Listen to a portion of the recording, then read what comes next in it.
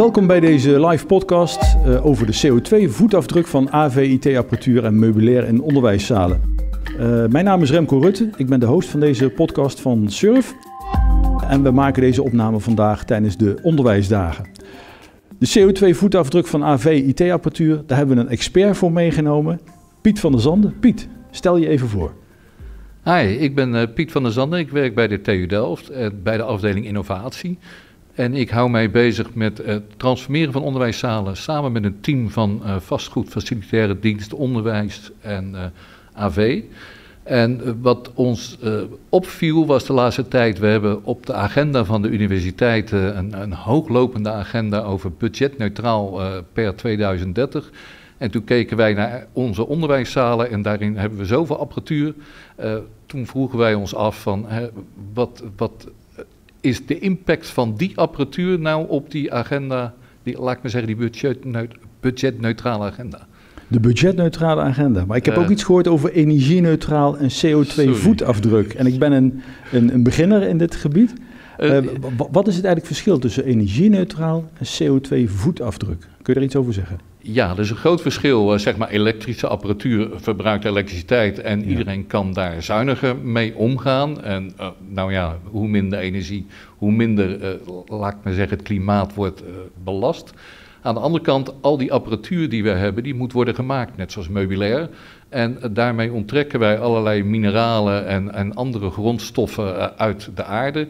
Daarnaast hebben we natuurlijk het fabrikageproces, dat kost ook energie en stookkosten enzovoort. En dan heb je een product en wij nemen dat product af.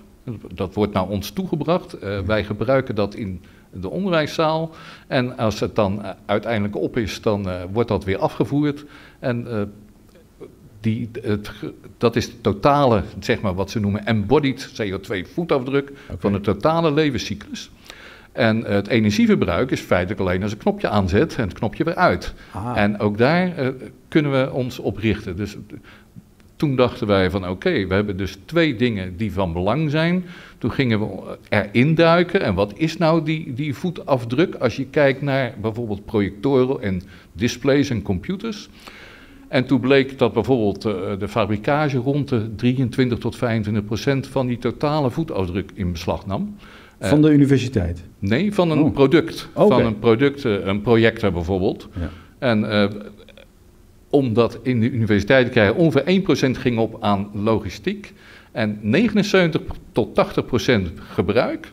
En aan het eind konden we 3% terugverdienen, omdat we daar, nou ja, het, het zeg maar uh, recycleden of op, op, een tweede leven uh, ergens inzetten of wat dan ook. En dat maakte ons dusdanig wakker. 80% voor gebruiker, dat, dat zijn wij. Ja. Kunnen wij daar dan niet iets extra's voor doen? En dat gaf mij in ieder geval uh, de, de eerste vraag. Wij hebben apparatuur en die schaffen we aan voor uh, gedurende vijf jaar. Dat is de afschrijftermijn. Okay. En uh, een jaar of acht terug, toen zijn wij begonnen met het transformatieplan, samen met vastgoedonderwijs, facilitair en, en AV, om al die onderwijszalen tot een bepaald basisniveau te krijgen. Toen hebben wij gezocht naar goede kwalitatieve apparatuur. Uh, en die gaan langer mee dan vijf jaar. Dus met die gedachte dacht ik van oké, okay, Normaal zeg je uh, 100%, het tweede jaar is 80%, 60, 40, 20. Mm. Maar wat is het nou waard in het zesde jaar? Dus met die vraag ging ik naar de, de, financiële afdeling. Wat besparen we daarmee? Wat kunnen wij als afdeling, wat worden we er wijzer van? En hoe wordt dat zichtbaar gemaakt? Uh, het antwoord van de controller, want het was best een moeilijke vraag, dat ging via de financiële afdeling naar de controller. En toen werd gezegd van ja, als jullie het niet uitgeven, dan gaat dat geld naar een andere verliesgevende afdeling okay. en daarmee is klaar. Uh, ja, maar als wij dan in het zevende jaar nieuw willen aanschaffen, ja, dan, uh, nou, dat was eigenlijk moeilijk. En daarop zei ik van ja, maar wij doen misschien wel acht jaar ermee. Uh, wat besparen wij nu voor die TU-agenda? Het is dus een aanvulling op.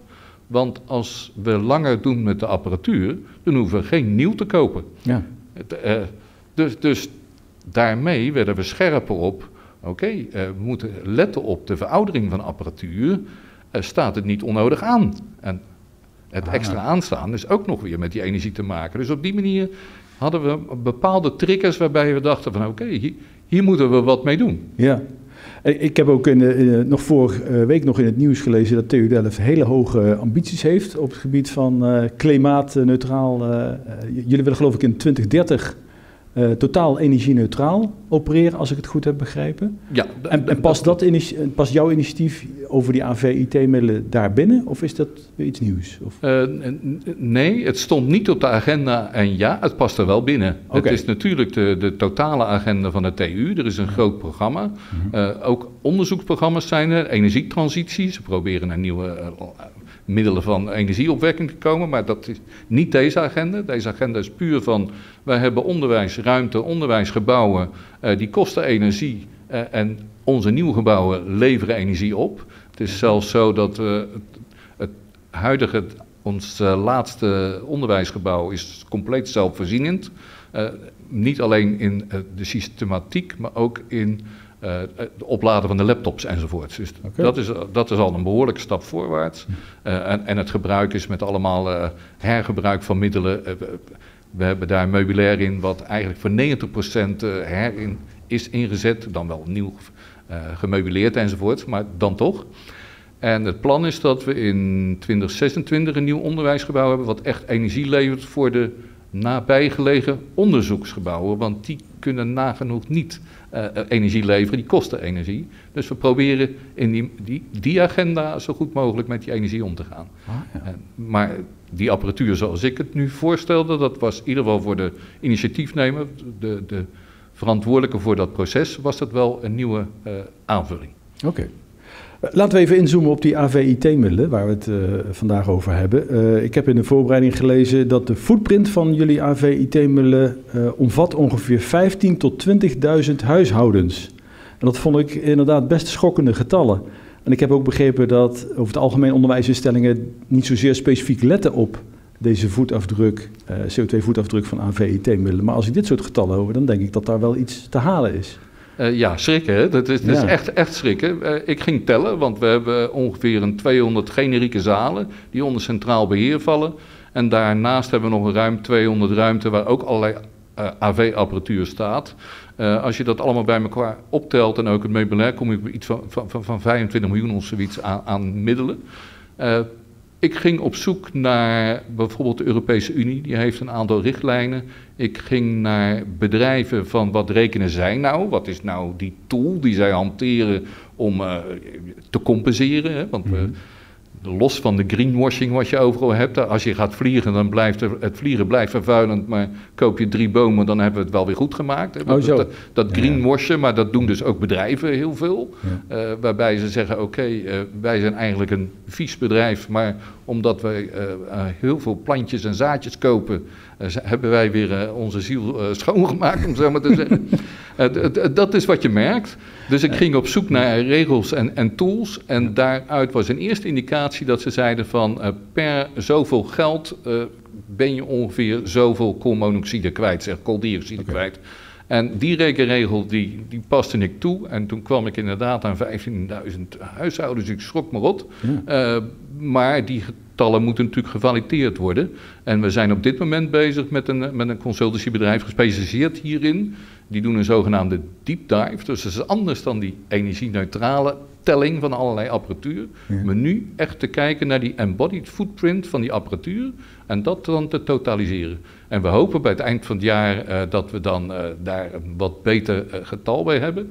En of dat heel erg van die 15.000 af wijkt, dat weet ik niet. Dat is nog even de vraag. Dat is nog even ja, de vraag. Ja. Maar, maar het, het, schrikbeeld was wel zo dat ik heel gemakkelijk financiering kreeg voor dit project om dat eens eventjes uit te zoeken. Ja, ja dus, dus als ik goed samenvat, je weet eigenlijk niet precies of de getallen kloppen, die 15.000 tot 20.000 huishoudens, maar het was groot genoeg, ook al zit het daar nog wat onder, om dit toch op de agenda te krijgen bij de TU Delft. Ja, zonder uh, enige aarzeling. Ja, ja.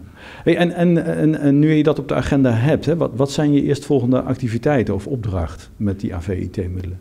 Uh, wat, wat wij doen is het in beeld brengen. Uh, omdat ik zelfs met AV-team samenwerkt, hebben we ook een applicatie ontwikkeld waarin wij allerlei zaken bijhouden. In ieder geval de, de inventaris van al die apparatuur en meubilair van die zalen.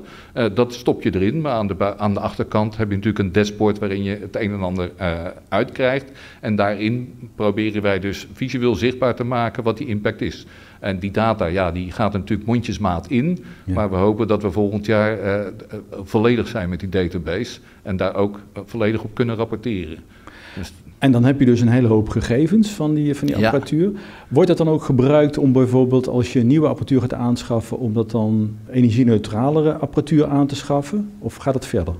Uh, nou, het, in ieder geval de gewaarwording uh, doet ons beseffen dat wij willen een bepaalde kwaliteit, bijvoorbeeld van projectoren in, in onderwijsruimte, die moeten een minimale contrastratio hebben, zodat je de details goed kan zien in, in, naast de leesbaarheid. Ja, ah, ja contrast tussen licht en donker en de finesses van, afhankelijk van wat voor uh, content je laat zien. Een röntgenfoto bijvoorbeeld, dan moet je goed die grijswaarde kunnen zien. Of een ontwerp, uh, daar wil je echt de kleurechtheid van een bepaald artefact tonen. Dus die voldoen aan een minimale eisen. En wij meten aan de hand van dat, die contrastratio, dat is een norm. Uh, een, een standaard, gestandaardiseerde norm volgens AVIXA. AVIXA is de Wereldhandelsorganisatie voor AV, dus die doet net zoiets als NEN-normen, maar dan voor de AV-wereld. Dus die standaarden, die handhaven we en daarmee hebben we een bepaald minimum gesteld. En zolang dus de apparatuur daaraan blijft voldoen, kunnen wij, de, de laat ik maar zeggen, de leeftijd oprekken. En uh, dat is en je kan op meerdere manieren die contrastratio verbeteren. Je kan natuurlijk een zwaardere projecten doen, of je kan het daglicht uitsluiten, of je kunt ook andere uh, uh, projectieschermen gebruiken, andere technieken gebruiken, om toch te zorgen dat die minimumbasis, die minimumcontrastratio haalbaar is. En door er nu op te letten, zoeken wij naar alternatieven om die contrastratio zo lang mogelijk eigenlijk op, op, daarboven te houden en daarmee dus de leeftijd van die apparatuur te rekken. Ah, en ik ben elektronicus van achtergrond en ik weet wel dat we een aantal, na een aantal branduren beginnen de risico's op foutjes een beetje toe te nemen. Maar als je, uh, dat, dat gaat meestal over 20.000, 30.000 branduren. En daarom letten wij ook op wat we noemen operational use. Dat is ook een van die dashboarden. Uh, wat wij nu merken is dat uh, soms staat de apparatuur voor niks aan. bijvoorbeeld als er geen onderwijs is gepland of er is onderwijs uitgevallen of uh, soms beginnen mensen heel vroeg en die zetten het aan voor de docent en dan staat het anderhalf uur voor niks te branden. Vroeger moest dat met projectoren, want dan had je lampen die moesten opwarmen en dan tot een bepaalde temperatuur. Ja. Maar nu heb je allemaal LED-laser, dus het is spul aan en gaan. Mm -hmm. En wat we merken is dat we uh, dat in de gaten zijn gaan houden. En het ziet, uh, regelmatig staat het spul aan tussen de middag en s'morgens wat eerder. En dan denk je, ja, dat, dat ene uurtje tussen middag, ja, maal 200, maal 400 zalen, maal 300 dagen. Dat begint al, als je daar aan gaat tellen, dan loopt het in behoorlijke getallen. Dus door daar scherp op te zijn, voldoen we op een andere manier ook proberen we bij te dragen aan die, aan die agenda. Precies, ja, ja.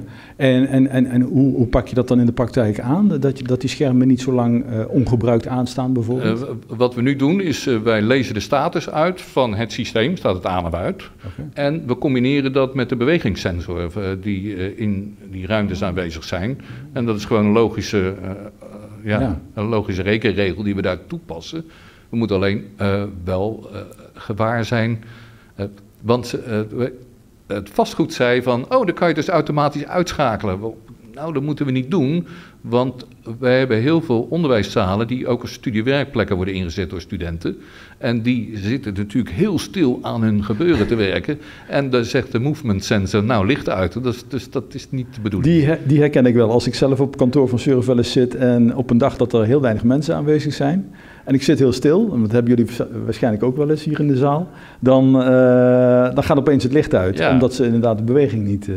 Ja, dus dat, dat wil je voorkomen, maar ja. voor ons is het signaleren, geeft ons al het idee van, uh, beste facilitaire dienst, ga eens kijken, en dan kunnen ze daar geef met een structuur uithalen, want heel vaak zijn de pauzes het spul blijft gewoon aanstaan. En we zien op bepaalde plekken dat s morgens om zeven uur het al wordt aangezet. Terwijl het onderwijs om kwart van negen begint. En dat, oh ja. En we hebben ook s'avonds wel wat ze noemen een veegpuls. Hè. Dan gaat over de hele campus alles uit. Maar okay. ja, uh, soms staat het dan twee of drie uur ook weer voor niks. En dat is niet alleen de energie, maar het is ook de veroudering van je apparatuur. Als je nou die 20.000 banduren wil halen, moet je zorgen dat je er zo min mogelijk verspilt. Ja, ja daar zit ook weer de, financiële component aan, dat je de apparatuur langer kunt gebruiken. Absoluut. Dat, dat, wil ik nog wel even naar terug, want je had het in het begin van deze podcast over uh, dat gesprek met die financiële controle. Ja. En dat je eigenlijk tenminste als ik goed heb begrepen, niet beloond wordt als je zeg maar langer met apparatuur doet. Omdat dan het geld ergens anders naartoe gaat. Hoe, hoe, gaan jullie daar dan nu mee om binnen de TU Delft? Is dat nou, veranderd hierdoor? Nog niet. Dus we proberen dat eerst zichtbaar te krijgen. En uh, de, financiële administratie uh, is, is, of in ieder geval de controle is gewaarschuwd dat we daarop terugkomen. En uh, op een gegeven moment wil je daar naar een nieuw beleid toe. wij als universiteit hebben natuurlijk standaard inputfinanciering. Je krijgt een zak geld en dat wordt overal door de afdelingen wordt dat, weggedragen. maar het is zonde om dat te verspillen. Als wij daar beter mee om kunnen gaan, dan kunnen we die middelen op een andere manier misschien inzetten. Ja. Over die, die, die eh, financiële middelen, de, de, de investeringen in deze apparatuur in combinatie met uh, nou meer energie-neutraal opereren. Heb je, hebben jullie al gekeken naar de investeringen en of het zich dan ook terugverdient? Hè? Ik, doe, ik doe de analogie, ik heb deze zomer zelf zonnepanelen gekocht en uh, nou, voorgerekend, dat verdien je ongeveer zeven jaar terug. Ik, nou, dat kan er mooi uit. Hebben jullie er op die manier ook naar gekeken?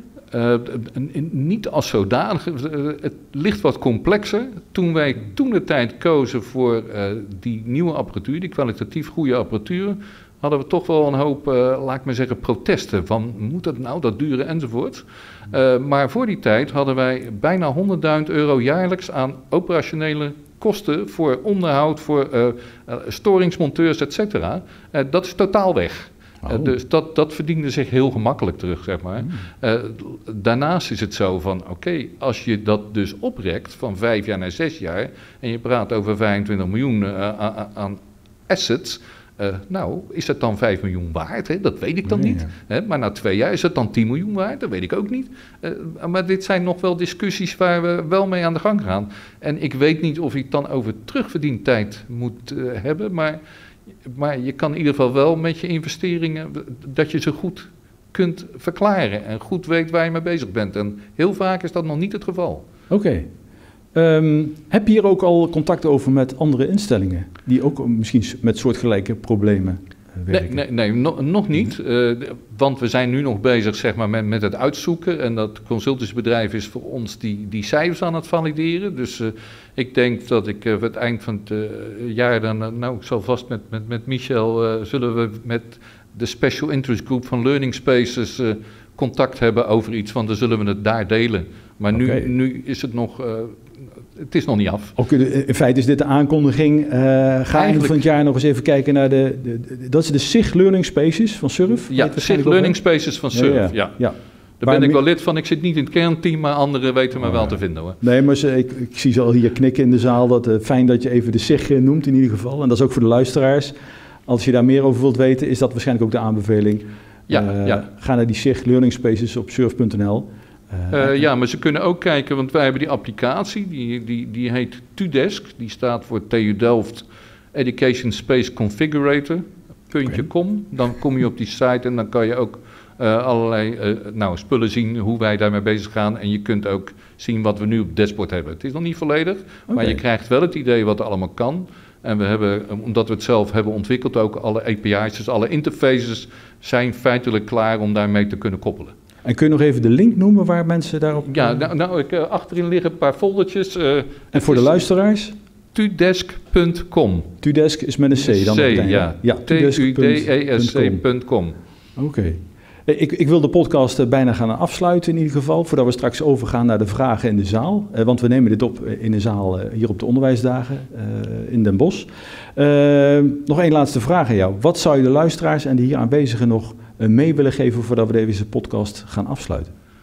Ik, eh, wat ik heel belangrijk vind is de, gewaarwording. Het, eh, we staan er niet bij stil welke impact we vanuit AV en vanuit ICT hebben als gebruikers, als, als onderwijsgebruikers van, van de technologie.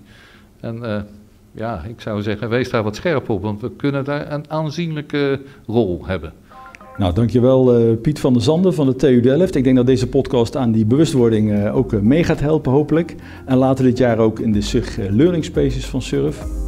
Luisteraars, ja, tot zover even deze korte podcast over deze CO2-voetafdruk van AVIT-middelen. Uh, dank voor het luisteren. Het is opgenomen tijdens de onderwijsdagen. Ik zou zeggen, blijf luisteren, want er zijn meer podcasts opgenomen tijdens deze onderwijsdagen. Uh, je vindt ons terug op Surf Sounds, het podcastkanaal van, uh, van Surf. die je kunt beluisteren via Spotify of Soundcloud. Vergeet niet te abonneren op het podcastkanaal en graag tot de volgende keer. Dankjewel.